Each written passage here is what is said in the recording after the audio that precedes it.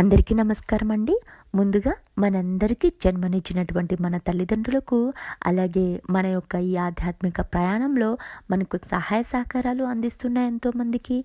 మరియు అంతటా నిండి ఉన్నటువంటి పరమాత్మ యొక్క చైతన్యానికి మన హృదయపూర్వకమైన పాదాభివందనాలు సమర్పించుకుందాము. నిన్నటి రోజున శరభేశ్వర శాస్త్రి గారి యొక్క చెల్లెలు తనకు స్వప్నం ఒకటి వచ్చింది. దాని యొక్క సారాంశం ఏమిటి అని అడిగితే తన యొక్క భర్త మరణిస్తారు అనే మాట ఆమె వింటుంది కదా.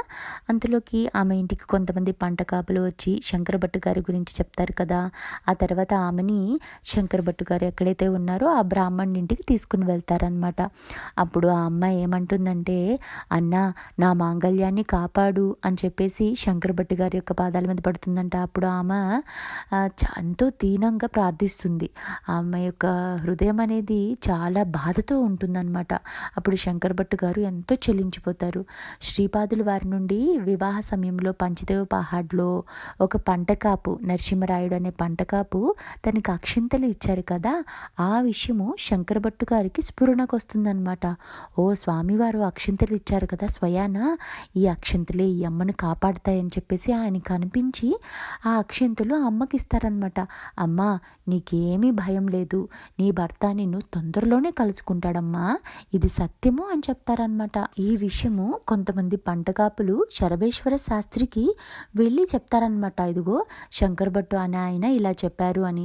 అతడు అగ్గి మీద గుగ్గిలం అయిపోతారనమాట బాగా ఆయనకి కోపం వచ్చేస్తుంది శరభేశ్వర శాస్త్రికి. అప్పుడు ఆ శరభేశ్వర శాస్త్రి ఏమంటారంటే నా చెల్లెలి యొక్క భర్త సజీవ స్థితిలో కనుక ఇంటికి వస్తే ఈ బీద బ్రాహ్మణుడి యొక్క బాకీ తీర్చడమే కాకుండా శంకర భట్టుని నేను గురువుగా అంగీకరించి నేను కూడా శ్రీపాద వల్ల వల్లభుల వారిని ఆరాధిస్తాను అని చెప్పేసి ఆయన అనుకుంటారనమాట అలా మూడు రోజులు గడిచిపోతాయి.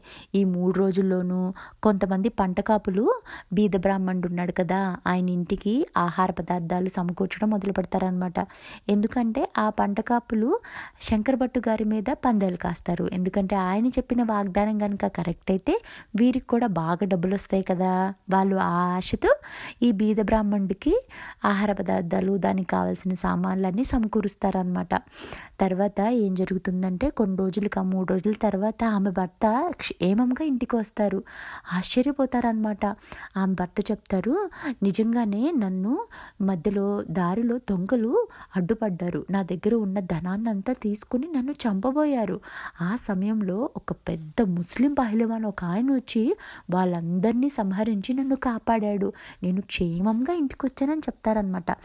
ఆ అమ్మ ఉంటుంది కదా వాళ్ళ ఆవిడ ఎంతో సంతోషిస్తుందనమాట ఇది స్వామివారి యొక్క ఆశీర్వాద బలమే. స్వామి అక్షింతలు ఇచ్చారు కదా అని చెప్పేసి ఆమె ఎంతో ఆనందపడతారనమాట అప్పుడు శర్వేశ్వర శాస్త్రి ఏమనుకుంటారంటే అయ్యో నేను చేసిన నేను చెప్పిన జ్యోతిష్యం అనేది తప్పైపోయింది అనుకుని ఆయనలో ఉన్న అహంకారం అనేది పూర్తిగా నసిచేస్తుందనమాట అప్పుడు ఆ బీద బ్రాహ్మణుడి యొక్క బాకీ అనేది ఈయన తీర్చేస్తాడు. శర్వేశ్వరుడు ఏమంటారంటే ధర్మగుప్తుడు వారిని శంకర్ భట్టు గారిని అయ్యా మా ఇంటికి వచ్చి ఆతిథ్యాన్ని స్వీకరించాల్సింది అని కోరుకుంటారనమాట వారు సరే అంటారు. ఆయన వాళ్ళ ఇంటికి తీసుకుని వెళ్ళి వీరికి చెప్తారనమాట అయ్యా దశ మహావిద్యల్లో ఒకటైన ధూమ్రావతి దేవిని నేను ఆరాధించేవాడిని. తంత్ర గ్రంథాల ప్రకారం ఆమె ఉగ్రతార. ఆమె గనుక ప్రసన్నమైతే రోగాలు శోకాల్ని నాశనం చేస్తుంది. ఈమెకు శరణాగతి చెందటం వల్ల విపత్తులు అనేవి నాశనమైపోయి సంపదలు లభిస్తాయి. ఆమెకు కోపం కలిగితే కనుక కలహాలు దారిద్రాలు సంభవిస్తాయి. నేను ఆ మహాతల్లి యొక్క అనుగ్రహాన్ని పొందాను. మరణాదుల నుండి ఆ తల్లి నివారిస్తుంది. చేతబడి మొదలైన వాటి చేత బాధించబడే జనులు ఈమెను ఉపాసన చేయటం అనేది అనివార్యము. జనులకు హితకరంగా ఉండేటట్లు నేను కొన్ని రోజులు ధన ఆకాంక్ష అనేది లేకుండా నేను ప్రవర్తించేవాడిని.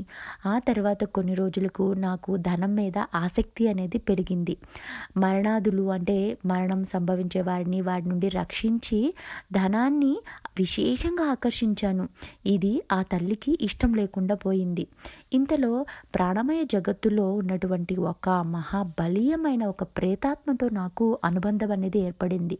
ఆ ప్రేతాత్మ సాయంతో నేను భూత భవిష్యత్ వర్తమానాలు చెప్పగలిగే అపూర్వమైన శక్తిని పొందాను.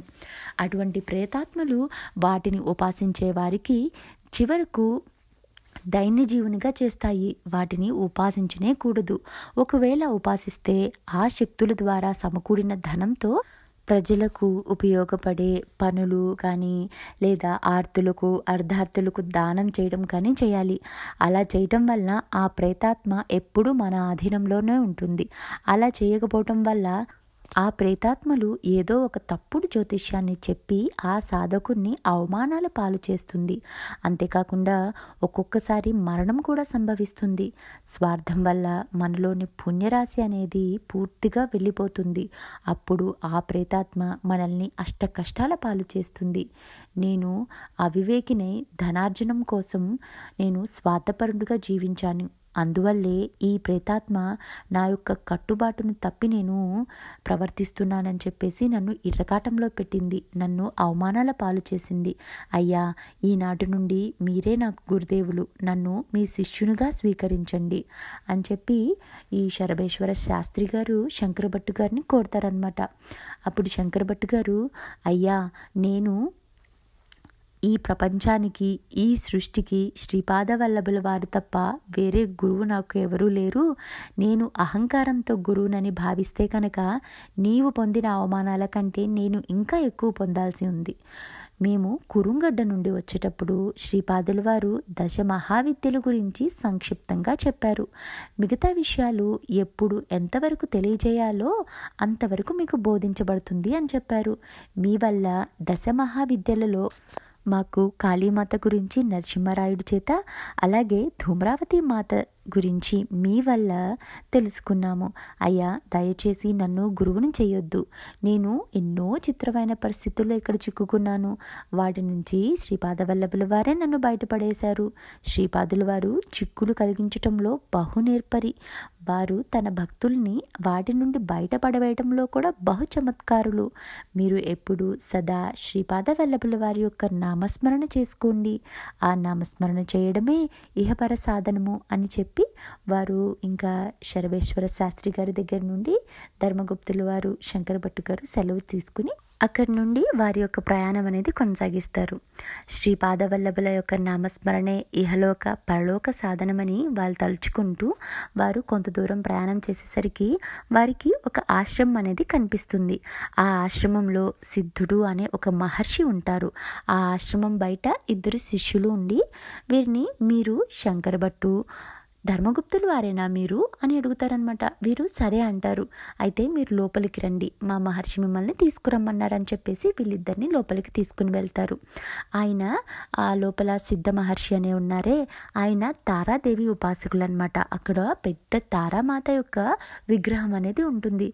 వీళ్ళకి మధ్యాహ్నం సమయంలో భజన అయిపోయిన తర్వాత కడుపు నిండా భోజనం అనేది పెడతారనమాట ఆ సిద్ధుడు వీరితో ఏమంటారంటే నాయన్లారా మీరు వస్తున్న విషయం శ్రీ శ్రీపాదుల వారు మాకు చెప్పి ఉన్నారు. మా మహాగురువుల యొక్క ఆదేశం ప్రకారమే మీకు ఆతిథ్యం అనేది ఇవ్వబడింది. నేను తారాదేవి ఉపాసకుడిని సర్వదా మోక్షాన్ని ప్రసాదించేది తరింపజేసేది అవటం వల్ల ఆ మహాతల్లిని తారా అని వ్యవహరిస్తారు. వాక్శక్తిని ప్రసాదించటం వల్ల భయంకరమైన విపత్తుల నుండి తన యొక్క భక్తుల్ని రక్షించేది కాబట్టి ఈమెను నీలా సరస్వతి అని కూడా వ్యవహరిస్తారు. మనకు ముగ్గురు హయగ్రీవులు ఉన్నారు కదా. ఒకరు విష్ణుమూర్తి అవతారం మరొకరు మహర్షి అవతారం ఇంకొకరు రాక్షసుడు. ఆ రాక్షసుని కూడా హయగ్రీవుడనే పిలుస్తారు. హయగ్రీవుడనే రాక్షసుని వధించే నిమిత్తము ఈ అమ్మ నీలా విగ్రహ రూపిణి అయ్యింది. ఈ దేవి ఉపాసన వల్ల సామాన్యుడు కూడా బృహస్పతితో సమానమైన విద్వాంసుడు కాగలడు. భరతవర్షంలో మొట్టమొదటిసారిగా తారాదేవి యొక్క ఉపాసన చేసిన వారు వశిష్ఠ మహర్షి. నాకు తారా ఉపాసన చేస్తున్నా కానీ ఆ దేవి యొక్క దర్శనం అనేది కాలేదు. నేను ఒకసారి మిథిలా దేశంలో వెళ్ళాను. అక్కడ మహిషి అనే గ్రామంలో ఉగ్రతారా సిద్ధపీఠం ఉంది. నేను ఆ సిద్ధపీఠాన్ని దర్శించాను. అక్కడ తారా ఏకజట నీల సరస్వతి అనే త్రిమూర్తులు ఒకే స్థానంలో ఉన్నారు. మధ్యస్థానంలో ఏమో పెద్ద విగ్రహం ఉంది. రెండు వైపులా చిన్న చిన్న విగ్రహాలు ఉన్నాయి. నేను అక్కడే ఉపాసన చేసి మహర్షి అంటే వశిష్ఠ మహర్షి ఉన్నారు కదా ఆ మహర్షి తారోపాసన చేసి సిద్ధి పొందాడని విని నేను కూడా అక్కడే ఉపాసన చేశాను. నేను ఉగ్ర తారామాతను దర్శించి బయటకు వచ్చేసరికి ముద్దుల ముటకట్టు బాలికా రూపాన్ని చూశాను. ఆమె యొక్క కాలి అందల్ల సప్పుడు అనేది నాకు బాగా నా హృదయానికి బాగా తాకిందనమాట. ఆ బాలిక అంది నాయనా నువ్వు ఎక్కడెక్కడో తిరుగుతున్నావు. బహుశా నా గురించి నువ్వు లోకమంతా గాలిస్తున్నావా?